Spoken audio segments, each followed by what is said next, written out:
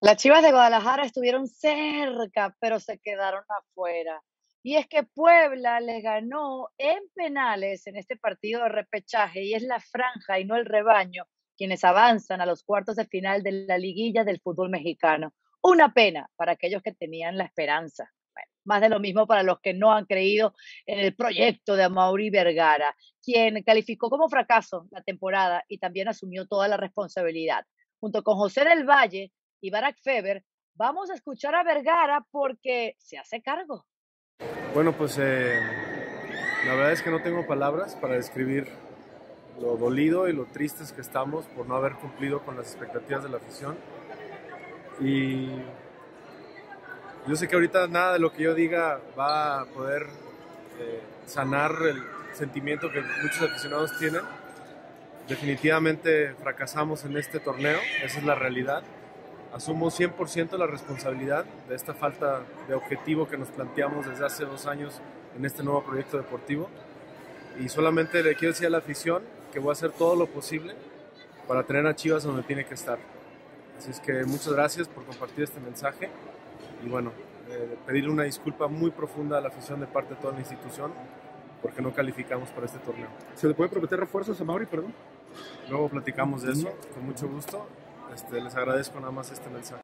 No quieren hablar de eso. A Leaño también le preguntaron sobre los refuerzos porque él está ratificado y tampoco quieren hablar todavía de eso. Es muy temprano porque recién se acaban de quedar otra vez sin nada y es eh, la peor temporada en la era de Vergara. Barak, ¿qué tiene que hacer a Mauri? Bueno, eh, saludos, Carlos, saludos, José. Eh, tiene una limitante extraordinaria que es no puede contratar futbolistas más allá de un mercado cada vez más cerrado para para las Chivas y tiene que hacerlo además con un presupuesto limitado. El, Guadalajara no puede gastar lo que pueden gastar otros equipos. Entonces, lo que puede hacer es invertir a, largo plazo o vender al equipo. ¿no? Eh, creo que son las dos opciones sensatas que puede tener Chivas. Si la familia Vergara ya no puede con el paquete, a mí me parece que su padre debió haber vendido al equipo hace muchos años, se lo heredó y él tiene que hacer lo que no se atrevió el padre, que es dejarlo en mejores manos, en una familia que esté más preparada para asumir un reto tan importante como llevar a un equipo con tantas limitaciones allá donde le debe corresponder según la crítica y la presión y la historia del propio equipo. La otra es invertir, pero invertir a largo plazo, eh, en serio meterle a las fuerzas básicas, hacer que Chivas tenga de una vez por todas el mejor sistema de fuerzas básicas del continente y eso, claro, lleva tiempo, lleva paciencia, lleva inversión y, no sé si en Chivas hay el clima como para soportar tanto tiempo de aquí a que el Guadalajara realmente pueda aspirar a ser un equipo competitivo cada temporada, ¿no? Porque si no vamos a ir hablando de que Chivas quedó fuera, a veces en octavos, a veces en repechaje, a veces ni siquiera en repechaje, a veces se metió a semifinales y va a ser campeón una vez cada 10 años, como lo ha sido durante 40 años. Si se quiere cambiar esto, hay que cambiar desde la raíz, o se vende el equipo, o se cambia desde la, la estructura misma del club. Claro, o, lo vende o le da vuelta, pero tiene la capacidad a Mauro Vergara de darle vuelta a esto. Realmente el fútbol es su pasión, es lo que quiere, es lo que le quita el sueño. E, e, ese es el tema, ¿no? José. Sí, el cine, el cine es su pasión, Caro, con el abrazo para usted y para Barak. En un escenario ideal, coincido con Barak, lo mejor para Mauri y fundamentalmente para los aficionados sería que a Mauri Vergara venda Chivas. Pero él ha dicho que le hizo una promesa a su padre de no vender al equipo y, me parece que piensa cumplirla, porque en el audio que recién escuchábamos se disculpa, pero en ningún momento dice que va a vender al equipo, al contrario, dice que van a trabajar para, para que las cosas mejoren. Invertir, decía Barak, pero invertir bien. No nos olvidemos que a Ricardo Peláez le dieron 40 millones de dólares para contratar refuerzos. Trajo tres futbolistas del Necaxa, de los cuales solo uno se consolidó, que es el Canelo Angulo, que es hasta futbolista de selección. Eh, después, eh, las decisiones de Ricardo Peláez. Llevó a Víctor Manuel Bucetich cuando parecía que el proceso de Tena todavía eh, tenía para, para por lo menos darle un poquito más de tiempo. Después, echa a Bucetich cuando el equipo no perdía en cuatro partidos. Llega Marcelo Michele Año, donde aparentemente Ricardo Peláez no tuvo nada que ver en esa decisión. Sin embargo, la semana pasada el propio Peláez manda un video diciendo eh, y ratificando a Marcelo Michele Año independientemente de lo que pudiera pasar contra Puebla. La verdad que el panorama de Chivas Caro es desolador. Un equipo que viene navegando en la mediocridad, tercer torneo consecutivo que se mete al repechaje y solo en una ocasión pudo meterse a la liguilla. Lo mencionaba usted, la peor cosecha de puntos, no tiene un entrenador que tenga credenciales, un director deportivo que ha perdido la brújula, un dueño que no es apasionado por el fútbol y equipos con mejor poder adquisitivo que se siguen reforzando para ser protagonistas. Pero ese, es el mismo cassette que siempre, eso lo vienen diciendo todos todo el tiempo, parece un disco rayado. A ver, Barak, el partido ante Puebla, lo pudieron haber ganado en penales. O sea, al, al final los penales son una lotería, ¿no? Es que es el problema, que, que, que Chivas está metido y todas sus esperanzas están eh, enfocadas a ganarse la lotería, ¿no? Y, y la lotería la ganas o, la pierdes, y, y, casi siempre la pierdes, ¿no? Eh, a, a, largo plazo eh, vas a perder más de lo que vas a ganar, si no, no existiría como tal.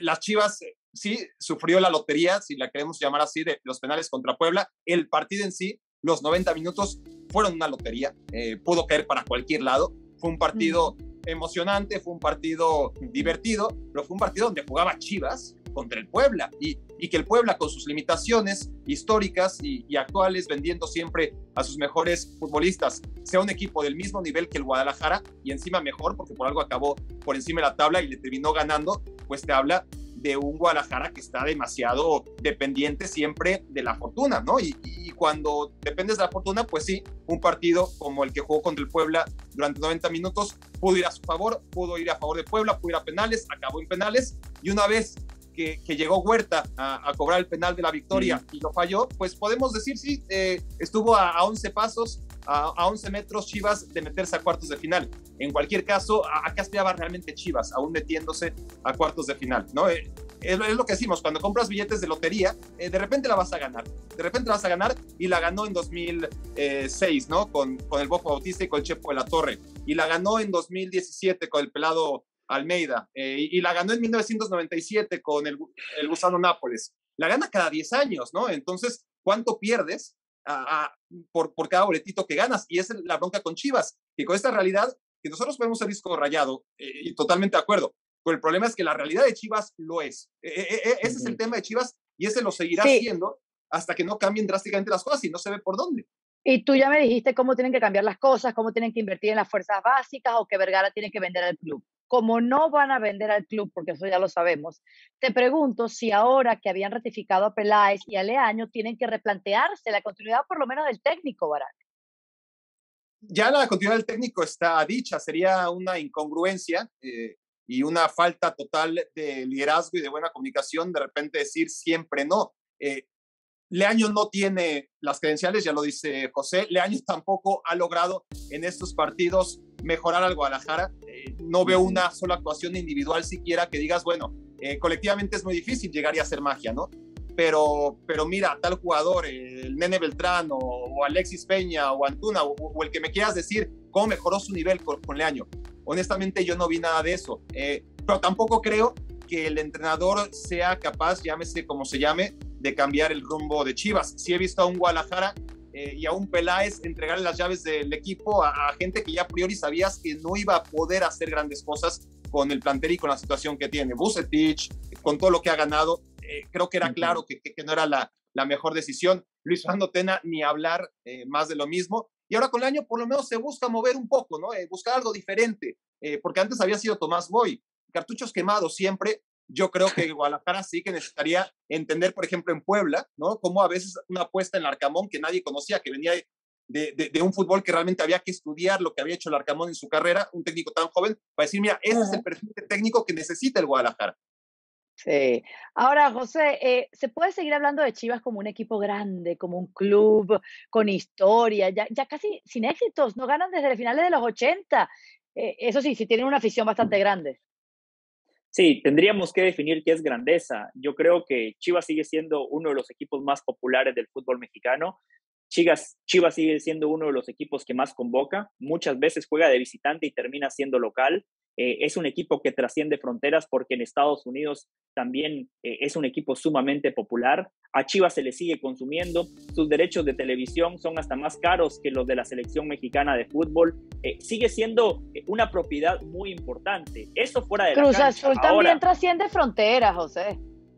Bueno, es que Cruz Azul para mí también es grande, o sea, no, va, no va en contra de lo que digo. Para mí hay cuatro grandes. Después, eh, desde lo deportivo, me parece que Rayados de Monterrey, Tigres, el propio Santos Laguna, Toluca en su momento. Por títulos, si la definición de ser grande es quien gana más títulos, por supuesto que tendríamos que meter a más equipos en la conversación, pero Chivas yo creo que sigue siendo un equipo eh, muy grande por lo que representa, por ese sello de que juega nada más eh, con mexicanos, pero la grandeza al final de cuentas hay que ratificarla dentro de la cancha. Si no, se va a convertir nada más en un equipo popular, no grande. Exactamente, lo que le queda es una afición grande, pero de grandeza de ganadora desapareció hace mucho tiempo, ¿verdad? ¿Tú cómo lo ves? Sí, a ver, eh, en México en general eh, no hay equipos que logren dominar década tras década. Es un fútbol particular en el que Chivas fue el grande de los 60 y dejó de serlo. Eh, Cruz Azul fue el grande de los 70, ganó muchos títulos y no volvió a ganar prácticamente más. En los 80 fue el América y más o es el único que moderadamente ha mantenido cierta asiduidad a la hora de ganar títulos, aunque en los 90 no ganó nada. Y así podemos seguir, ¿no? Porque luego llegó Toluca un ratito, luego llegó Pachuca otro ratito, luego llegó Monterrey un ratito, ahora es el ratito de Tigres, pero está claro que, que no hay un equipo como en otros países que realmente década tras década te pueda presumir de grandeza. El asunto con el Guadalajara es que después de ganar prácticamente todos sus títulos en los 60, no ganar nada en los 70, a partir de ahí ha ganado un título cada 10 años y cada 10 años son 20 aquí, torneos. En, este fútbol, ¿verdad? Que, que, que, es distinto el tema de la grandeza. Al único entonces que le podemos ganar, eh, llamar grande es al América. Yo creo que sí. Yo creo que es el menos chico de todos. A ver, pero la diferencia, la diferencia de títulos entre América y Chivas es solo uno. Eh, yo vuelvo al punto que emitía Barak y estoy totalmente de acuerdo. En México, a diferencia de otras ligas, no hay un claro dominador. E, eso habla muy bien de la Liga MX. Por eso para mí es un campeonato sumamente atractivo, porque arranca un torneo y especialmente por el formato de liguilla. A día de hoy no sé qué equipo es el favorito para ganar. Sí tengo claro cuáles son los contendientes, pero por ejemplo, Cruz Azul, uno de los contendientes, ya se cayó. Hay ligas, Caro, la Liga Francesa, por ejemplo. Hoy 22 de noviembre, yo le puedo firmar que el Paris Saint-Germain va a ser campeón. Le puedo garantizar que en la Bundesliga el Bayern Múnich va a ser campeón. En España sabemos que nada más a día de hoy hay dos equipos que están peleando por el título. Por eso, para mí, Chivas sí sigue siendo un equipo grande, porque en México el parámetro no pasa nada más por ganar.